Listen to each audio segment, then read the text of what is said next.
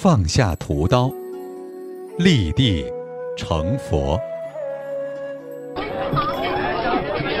唐朝的长安城是当时最繁华的国际化大都会，这里宫阙林立，商铺遍地，车水马龙，人潮如涌，好一派热闹景象。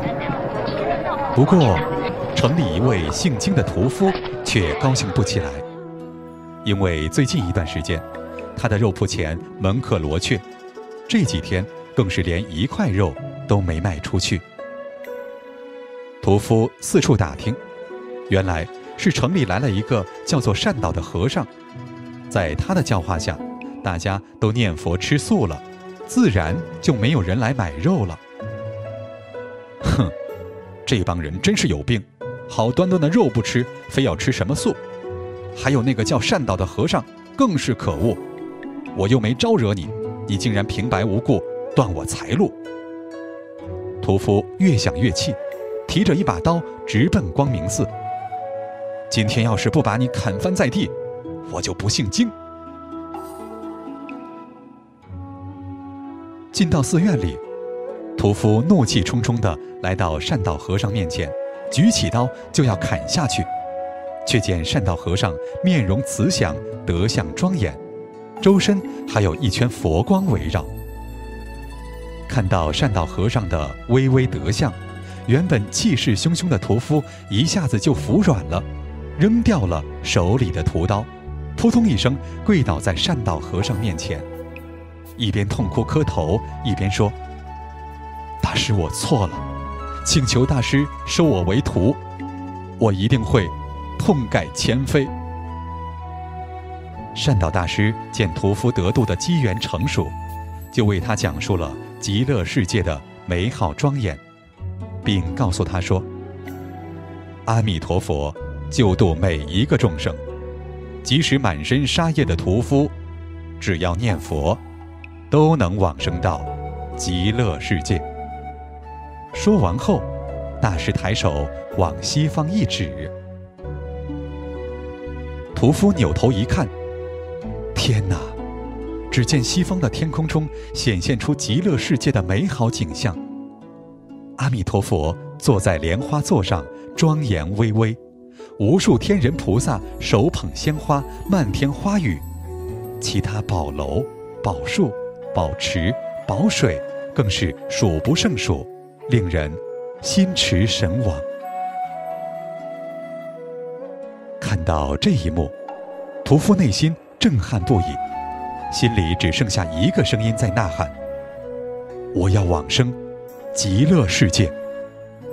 于是他高声念佛，爬到了寺院外的一棵柳树上，心满意足地纵身跳下，坠地而亡，就像丢弃一件旧衣服一样，舍掉了自己这身臭皮囊。这时，围观的人群看见屠夫的神识从头顶出来，瞬间踏上祥云，被空中的阿弥陀佛接引到自己身旁。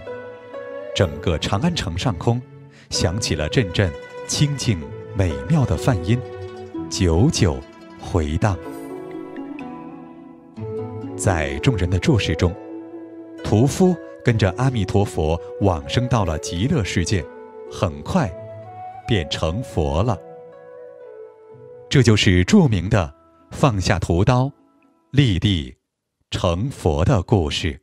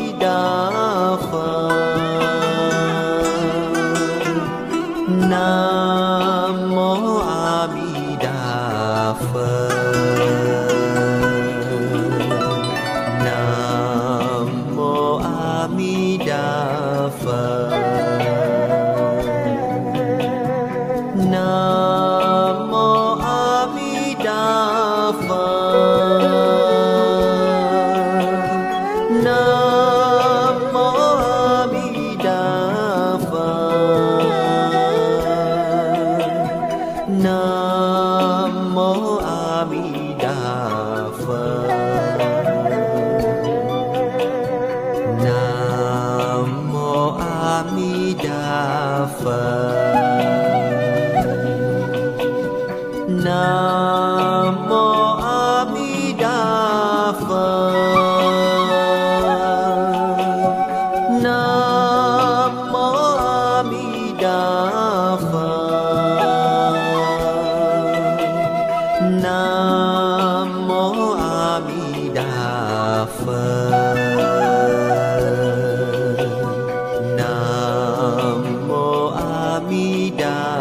Phật